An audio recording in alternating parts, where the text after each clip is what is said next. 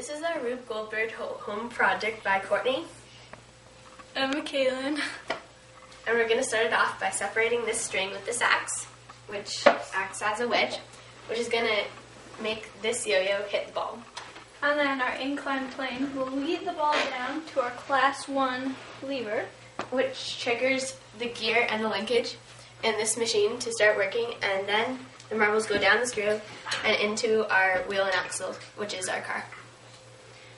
Then the car will hit these and they act as dominoes as they fall down. And then they hit the marbles, go into this cup. And then the pulley will be heavier on the side, causing this plasticine to roll down. And it hits the side of this air blower and it blows out the candle. Always wear your scientific safety gear. Remember, we are professionals, so don't try this at home. Glasses on. Looking good. Feeling good. Looking good.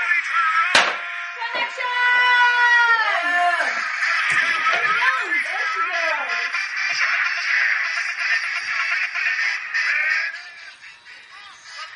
Here we go.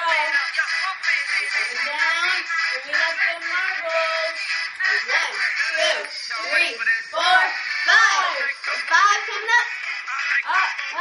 up, coming up. Here we go. Yeah. Nice and top there.